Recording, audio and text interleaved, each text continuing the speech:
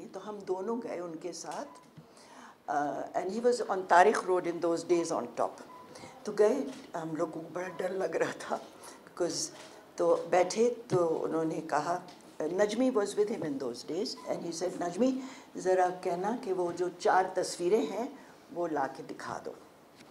तो सिर्फ़ चार तस्वीरें आई and they were the big ones you know this is I am talking about painting the grey one hanging in the house तो that is how the friendship started फिर every um, occasional बातें होती रहती थी। Uh, एक दिन हमारे भाई साहब ने देखी तस्वीर उनका मुझे भी चाहिए। तो मैं उस दफ़ा ज़माने में अबू धाबी हम लोग ट्रांसफ़र हो गए थे वी केम बैक तो आई रैंग अप नक्श तो नक्श ने कहा आ जाओ तुम लंच खा लेना वसीम में मेरे हस्बैंड में और भाई साहब गए। तो उनकी स्टडी में टेबल के पास lunch and wine and everything was going on and we sat and had lunch and he said कि वो एक तस्वीर लाना तो एक हरी तस्वीर वर्टिकल आई तो वो भाई साहब ने खरीद। ली after that I didn't meet him because we were abroad and he had gone when I came back he had gone off to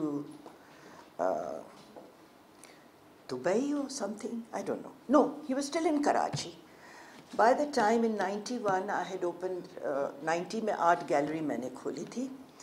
तो ये गैलरी मेरे घर पे थी F8 में। तो नजमी का फ़ोन आया। नक्श would never call directly. Never. दिल नहीं चाह रहा था। I didn't want to take because he said he needed calligraphy और they were some mother and child शुरू की थी उस ज़माने में कि शो कर दो। मगर मैं कहो कि मत बेचिएगा I still have your show and he said I want a video and I want this and I want that you तो but he was a consummate uh, marketing man superb marketing thi uski. He knew when to hold his paintings back and when to put them out in the market. ये बात थी नक्श में तो show किया तो फिर फ़ोन आया कि नहीं वो he is feeling bad Najmi का कि तुम दस तस्वीरें इसमें से मैं बता देता हूँ कौन सी नंबर की हैं आप बेच दें एंड कमीशन रख लेना। तो मैंने कहा ओके थैंक यू तो वो काम हो गया था। That is how our relationship was When I had my first solo show in Indus in 83, 84, the, he would always ask one of his children or one, someone, he said, Mubina ka show hua hai, zara jaake dekh lena. So they'd reporting about three, four years ago, हमारा कोई आठ दस साल का gap हो गया था we had not met after बस उसके बाद हम नहीं मिले अब मुझे मैंने जब ये खबर सुनी to my regret I was in London last month madam Hajra से प्लीज़ आइए और अपने व्यूज़ शेयर करें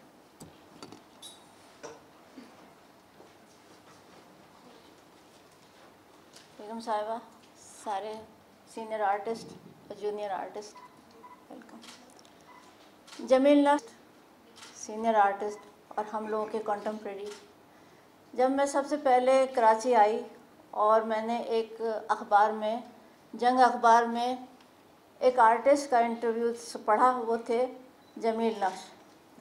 और जमील नक्श का जब मैंने आ, इनका शफ़ी अकील का लिखा हुआ वो आर्टिकल पढ़ा तो मुझे लगा कि पाकिस्तान में तो आर्टिस्ट हैं मुझे तो किसी ने कहा था कि यहाँ आर्टिस्ट ही नहीं होते। बहरहाल मुझे बड़ी ख्वाहिश हुई कि मैं जमील नक्श का काम ओरिजिनल देखूँ। तो इत्तेफाक से हमें जाने का इतनी जल्दी मौका नहीं मिला। काफ़ी दिन बाद मौका मिला उनका काम देखने के लिए। तो भाभी से मेरी मुलाकात हुई। मैंने कहा इतनी खूबसूरत बीवी, इनकी सामली सलोनी, ज़रूर किसी आर्टिस्ट का ही सलेक्शन है ये। तो बहरहाल पहले तो इम्प्रेशन मुझे इसलिए अच्छा पड़ा कि उनकी बीवी बहुत खूबसूरत नज़र आई। फिर और आगे गए तो सारे घर में कबूतर फैले हुए थे और काली काली झरोकों में और बालकनी में सफ़ेद सफ़ेद कबूतर। मैंने कहा, ये ज़रूर एक आर्टिस्ट का ही घर हो सकता है। तो कुदरती तौर से वो एक आर्टिस्ट ही पैदा हुए थे। और जैसे कि हम देखते हैं ना कि सारे लोग कॉपी आर्टिस्ट होते हैं कॉपी करते हैं। इसका देखा, उसका देखा, मंज़र देखा, किसी की शक्ल देखी। उनमें ये बात नहीं थी। वो वो करते थे जो उनका दिल करता था, जो उनका दिमाग कहता था, जो उनका दिल चाहता था, वो वैसे बनाते थे। और सबसे बड़ी बात यह कि उनकी पेंटिंग में फ्लॉज नहीं होते थे। फिर मैंने एक दफ़ा जमील नक से पूछा कि आप ये कबूतर और औरत क्यों बनाते हैं इतनी ज़्यादा? आपके पीछे एक ठप्पा लगा हुआ है कि आप औरत और कबूतर बनाते हैं। तो उन्होंने कहा कि देखें आर्टिस्ट ये बनाया, वो बनाया, ये तो सभी लोग करते हैं। अगर एक आर्टिस्ट के अंदर इतनी सलाहियत है और इतनी कैपेसिटी है कि वो एक ही सब्जेक्ट को इतनी तरह से बनाए और सारी ज़िंदगी एक नयापन हर पेंटिंग में आए तो वो बहुत बड़ी बात होती है।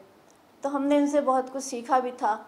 एक दफ़ा इन्होंने कहा कि नो लाइन नो डे ये बात मेरे दिल को लग गई। और मैंने भी तहैया कर लिया कि मैं भी हर रोज़ काम करूँगी और किसी रोज़ ऐसा नहीं होगा कि मेरा ब्रश रख जाए, वो चलेगा। और आज तक मैं इसी फार्मूले पे काम कर रही हूँ। इसके अलावा जमील नक्श ने हमें बहुत कुछ सिखाया। जमील नक्श जो थे, वो बिल्कुल लॉयलिटी से, ईमानदारी से अपनी पेंटिंग बनाते थे। और एक एक स्ट्रोक का, वो कहते थे एक एक स्ट्रोक का आर्टिस्ट ज़िम्मेदार होता है। और ये बात हमने उनकी तस्वीरों में देख ली। कहीं पे भी उन्होंने कोई कोना ऐसा नहीं छोड़ा कि जो उन्होंने दिल से ना अटेंड किया हो।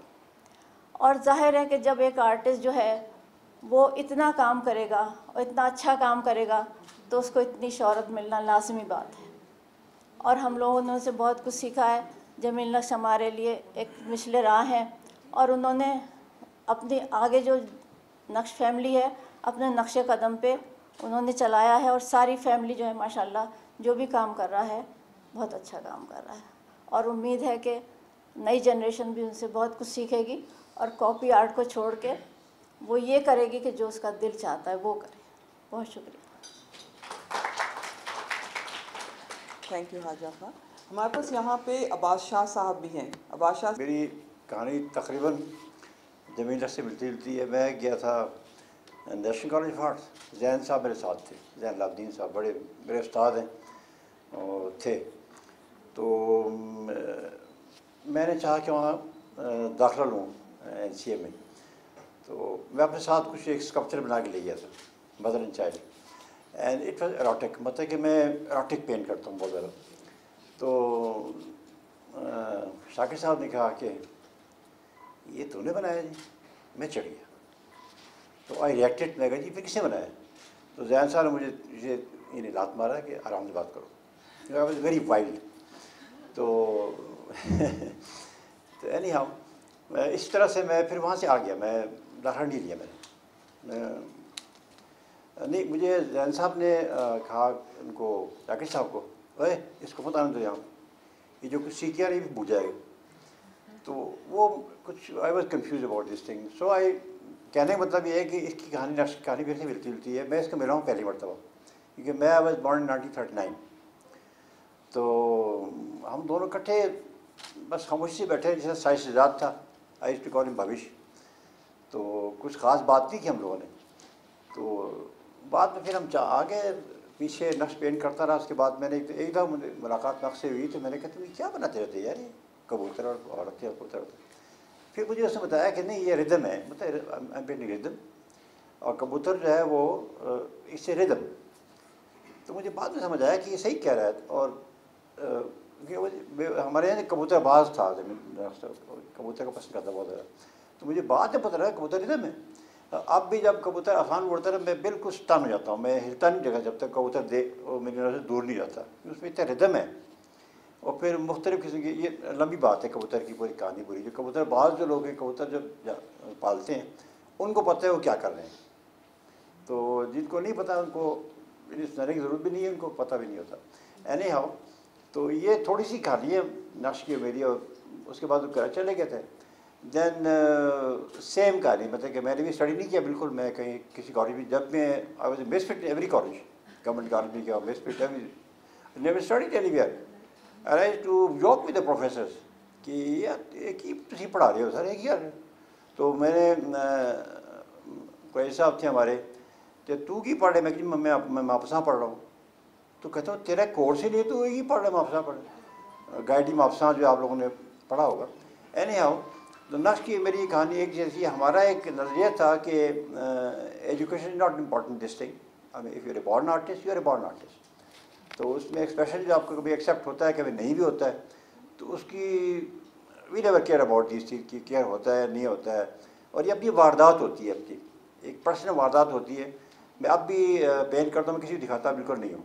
मैं ना बेचता हूँ, ना दिखाता हूँ मैं फेंक देता हूँ, उठा के लेके बेचता नहीं तो मैं, मुझे बड़े ख़रीदने को आते हैं। Why should sell myself तो नक्श मेरी, ये थोड़ी सी बातें थी। और मैं आई लाइक टिम ऑलवेज और he was a great painter हमारे पास यहाँ मंसूर राही साहब मौजूद हैं, जो हमारे उस्ताद भी हैं और बहुत बड़ा विजन रखते हैं आर्ट के हवाले से।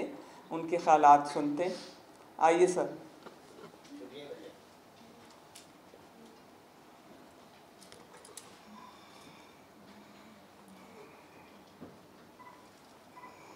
मेरे सामने बड़े लोग नज़र आ रहे हैं। आर्टिस्ट भी है, हमारा जमान शाह साहब हैं, मैडम भी हैं, आर्टिस्ट भी हैं, बड़े ठीक ठाक लोग हैं आज। देखिए जनाब, अभी तक जो कुछ ज़मीन नक्श के बारे में बातचीत हुआ ये सब बायोग्राफिकल आउटलाइन कैसे थे? उनकी आदत, ये ये आदत, उनकी life style biographical outline biographical outline यही चल रहा था एक दफ़ा एक सीलिंग के नीचे खड़ा हुआ था। लगता है माइकल एंजलो ज़िंदा है, अरे यार मरे हुए आठ सौ साल हो गया। कमाल है। मेरे एक छोटा सा स्टूडियो है। पेंटिंग बना रहा था बैठे बैठे दोपहर को अकेले। बेसमेंट में। मेहदी हसन का गाना आ रहा था, जब मेहदी हसन ज़िंदा है। यार, कोई आर्टिस्ट मरते नहीं।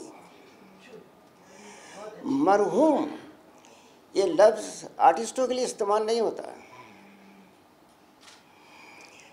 एक दफ़ा मैं एक ज़मीन ख़रीदा तो मुझे कहा जो ज़मीन का इंतकाल होगा। मैं जनाब, मेरे मादरी ज़ुबान उर्दू है नहीं। मैं इंतकाल इंतकाल सुना है कि मर जाना। मेरे ज़मीन मर गया बहुत परेशान। इसका मतलब मुझे समझाया इंतकाल मीन्स ट्रांसफ़र ट्रांसफ़र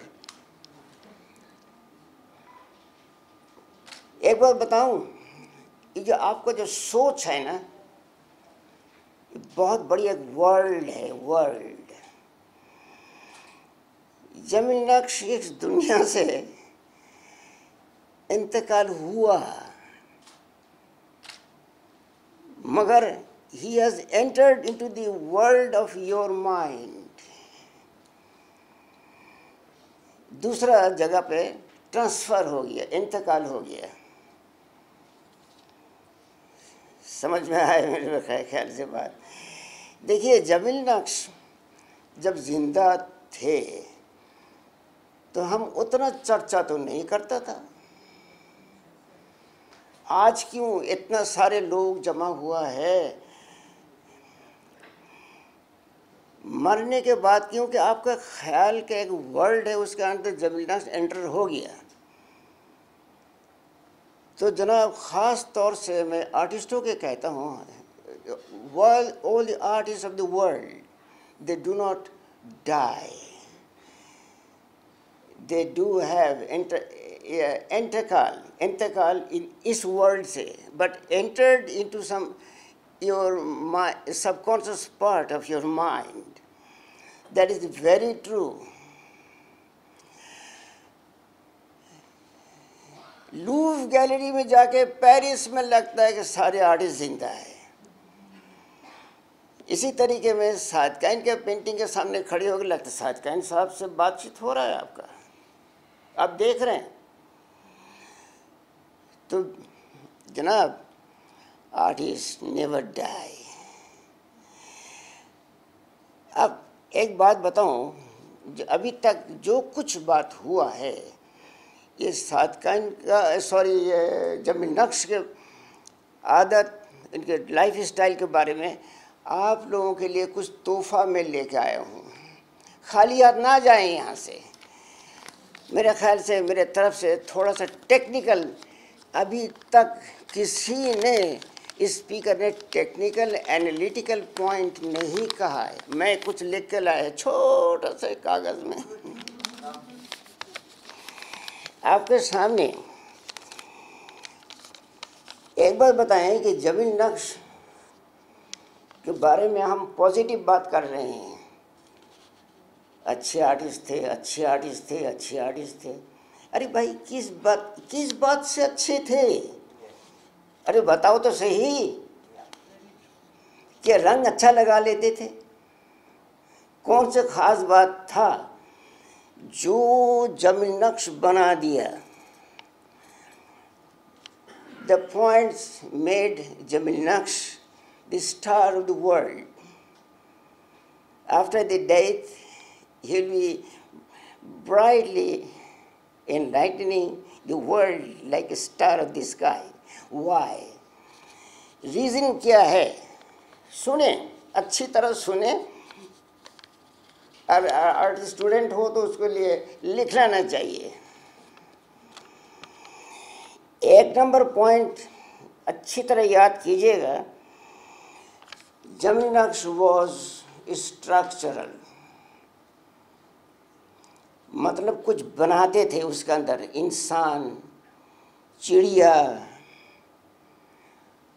शक्लें कुछ बनाते थे। एक होता नॉन स्ट्रक्चरल वो नॉन स्ट्रक्चरल नहीं थे। स्ट्रक्चर होता था उसके अंदर।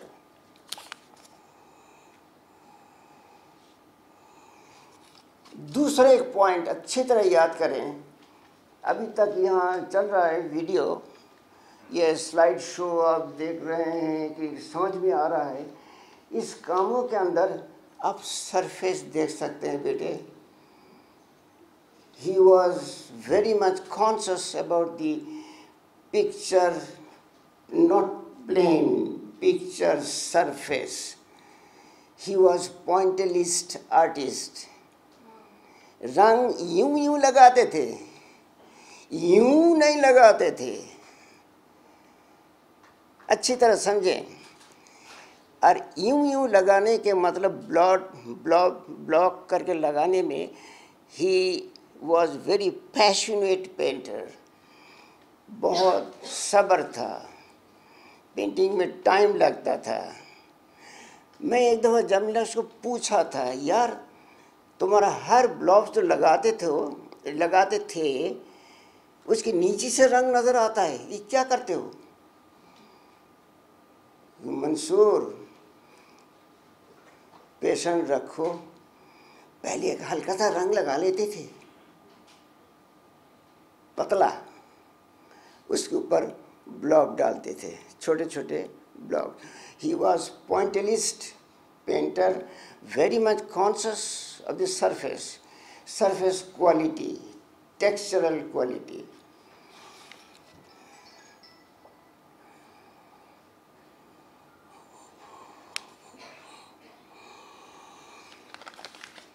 जनाब अगर आर्टिस्ट हैं आप लोग, इसमें कोई भी तो आप लोग लाइन तो लगाते हो ना, हल्का सा लाइन लगाते हो ड्राइंग करते हो, कुछ तो करते हो।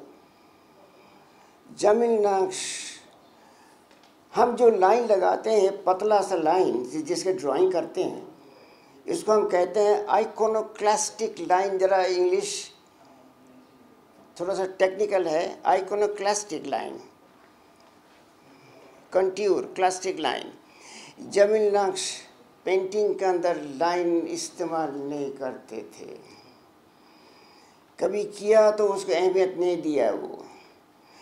ही वॉज़ सिंक्रोनाइज लाइन इस्तेमाल करते थे। वो क्या होगा? देखिए, आप इसी शहर में रहते हैं। आपके साथ साथ एक मरगला, एक नाम से एक बहुत पहाड़, ऊँचा सा पहाड़ है। जब नीला आसमान नीचे आता है और मरगला पहाड़ जाके आसमान के ऊपर एक लाइन खींच लेता है कि अल्लाह ने किसी ने लाइन डाला है वहाँ। आसमान का नीला और पहाड़ का वॉल्यूम दोनों जो मिलते हैं, एक लाइन क्रिएट हो चुका है। That is a synchronized line of the world. मैं जो खड़ा हूँ, मेरे आसपास एक लाइन क्रिएट हो रहा है। ये ये जो ओपन एयर स्पेस और मैं दोनों एक एक सिंक्रोनाइज लाइन बना दिया है। ज़मीन नक्श समझते थे ये बात को। और इंट्यूटिवली ज़मीन नक्श के अंदर ये पेंटिंग ये पेंटिंग में क्वालिटी हमने देखा है तो मैं एक दफ़ा टेलीविज़न प्रोग्राम में ये बात कहा था। जमीना उसका फ़ोन आया था मेरे पास, मैं इस्लामाबाद में था जमीना कराची में होते थे तो मुझे कहा, जमील ने, यार, आज तुम्हारा प्रोग्राम देखा, उसमें तुम मुझे एक ऐसा बात कहा, मुझे पता नहीं था। मैं कहते यार, तुम खुद बनाते हुए लाइन जमीना लाइन लगाते नहीं थे, बनाते थे। बहुत मुश्किल काम है। अगर समझ हो तो पेंटिंग में एक क्वालिटी पाया जाता है। द मिस्ट्री ऑफ़ जमीनक्स ग्रेटनेस ऑफ़ जमीनक्स जिसके लिए हम यहाँ जमा हैं। सुन लें, ये ये आपको दूसरा दफ़ा कोई कहने के लिए नहीं आएगा। बायोग्राफी किताबों में पढ़ सकते हैं। वीडियो में देख सकते हैं ज़मीन नक्श कहाँ पैदा हुआ, कहाँ क्या किया। सब कोई कह सकता है, मगर ये छोटी सी पेपर आपको शायद नसीब ना हो अब। जनाब, इनकी जो ग्रेटनेस था, एक और बात आपको बता देता हूँ। क्या वजह है? ज़मीन नक्श का पेंटिंग का एक टुकड़ा देखने से लगता है ज़मीन नक्श इसके पीछे बहुत research theory of transformation of forms इस, इसका मतलब है आपको अल्लाह इनडायरेक्ट अब्यूज़ किया है, आपको डांटा है कि मेरे तरह कॉपी करके आप कभी बड़े आदमी नहीं बन सकेंगे। आप इन सातकन साहब का है। ये अल्लाह मियाँ से देखा ज़रूर है, मगर अल्लाह का कॉपी नहीं किया वो अपने दिमाग इस्तेमाल किया, अशरफुल मखलूक़ात बनाया आपको अल्लाह ने तो उसको भरम रखें, उसके इज़्ज़त रखें, आपका दिमाग बहुत बड़ा दिमाग है। यूज़ इट तो जो यूज़ किया है, वो जब नक्श बन जाता है बन जाता है, या सदकाइन बन जाता है, चुगताई बन जाता है जनाब ये सारे मिस्ट्री है आर्टिस्टों का बड़े आर्टिस्ट के रास्ते and entered into the for welcome to Jamil Naqsh to our mind thank you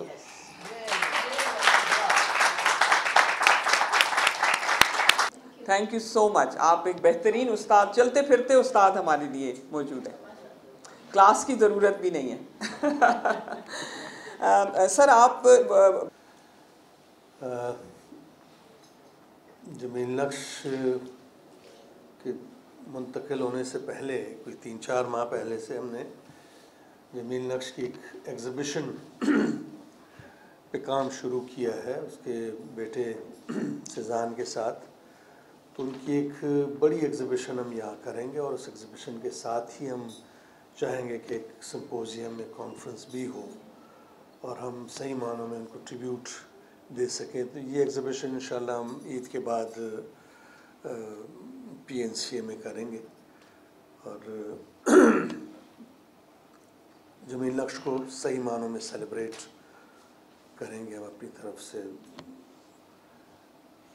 राही साहब ने बड़ी ज़बरदस्त बातें की। वाकई ज़मीन लक्ष्य का काम अगर आप देखें तो लगता है कि वो स्कल्प्टर थे, क्योंकि वो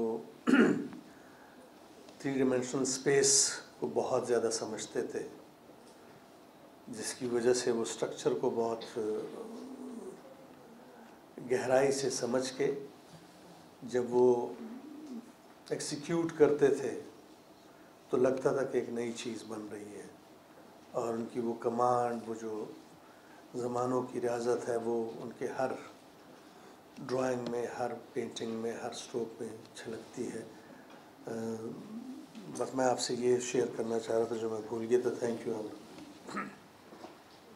thank you Jamal साहब।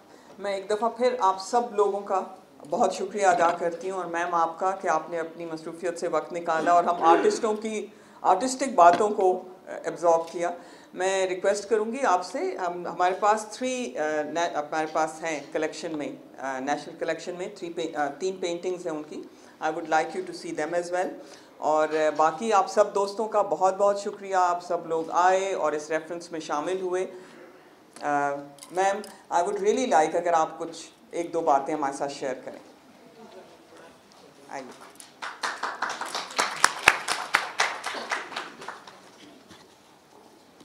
बसमीम जमाल शाह साहब और माशाल्लाह इतने बड़े आर्टिस्ट यहाँ मौजूद हैं। मैं लिख के तो कुछ लेकर आई थी, मगर इतनी खूबसूरत और इतनी अच्छी बातें मैंने सुनी कि मुझे बहुत मज़ा आया कि मैं यहाँ आई।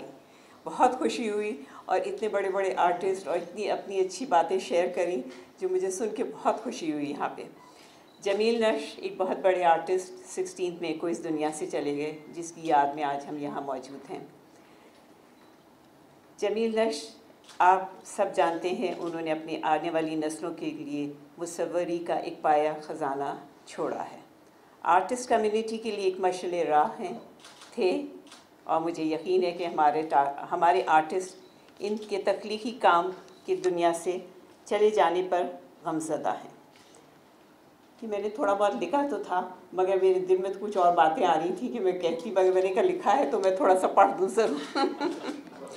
हमारे आर्टिस्ट दुनिया में हैं, उसको हम दे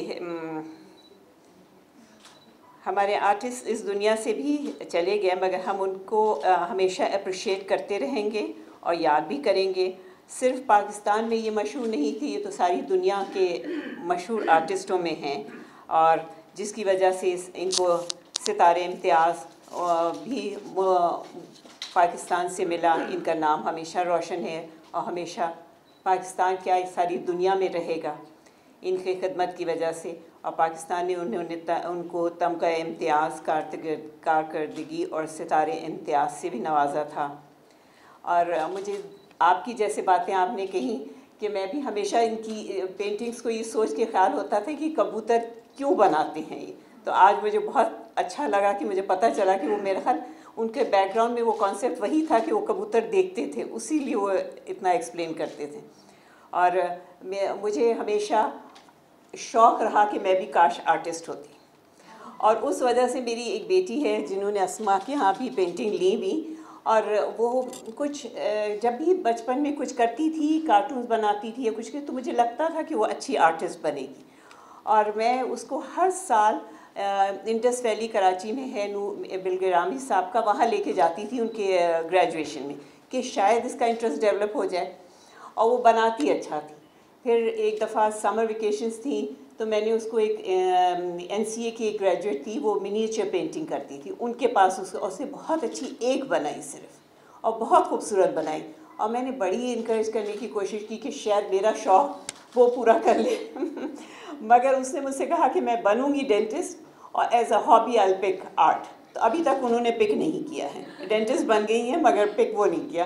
तो आई विश कि मैं ऐसी महफ़िलों में फिर आऊँ और मुझे बड़ा शौक़ रहता है। और मैं जब पेंटिंग्स पहले ख़रीदने की शौक़ करती थी तो मुझे होता था, मैं पेंटिंग की क्या वजह है जो मैं ख़रीदूँ? मतलब कोई चीज़ हो। तो आखिर मुझे ख्याल आया, आप लोग ज़्यादा बेहतर बताएँगे, मगर मुझे अपने दिमाग में ये गया कि जो आपको अच्छी लगे वो ले लो। पेंटिंग में कोई चीज़ नहीं होती जो आपको पसंद आए वो ले लो। उसी से मैं छोटी मोटी कलेक्ट करती रही और एक आर्टिस्ट मेरे पास पेंटिंग की है जो बांग्लादेशी है। वो मुझे पता नहीं क्यों बहुत पसंद है कि वो शायद उन्होंने मुझे जब बताया था कुंज आर्ट गैलरी से मैंने ली थी कि वो कलर ब्लू कलर शायद उनको ज़्यादा नज़र आता था। और वो सिर्फ़ ब्लू पेंटिंग और बहुत बारीक हॉर्सेस हैं जो वो दूर से नज़र आ रहे हैं। बहुत ही खूबसूरत बस मैं अप्रिशिएट हमेशा बहुत खुशी से करती हूँ। आई विश कि मैं भी आर्टिस्ट होती। बहुत शुक्रिया। थैंक यू सो मच ये आपका आ, मेरा ख्याल है आपका अपना शौक ही है जो हम आपको जिस और आर पे भी हम कहते हैं कि मैम आप आइए और हमारे साथ हमारे इस इसमें शामिल हो जाइए। आप हमारे साथ हमारा साथ देती हैं। एंड इन ताला हमारे हर प्रोग्राम्स में it's a very interesting thing अगर आपका शौक़ हो तो फिर इसकी बात ही कुछ और होती है। मैं एक दफ़ा फिर आप सब लोगों का बहुत शुक्रिया अदा करती हूँ। Thank you so much and इन ताला नेक्स्ट हमारा जो प्रोग्राम होगा, उसके लिए आप सब लोगों को जहमत देंगे और Jamil Naqsh thank you so much ji. Thank you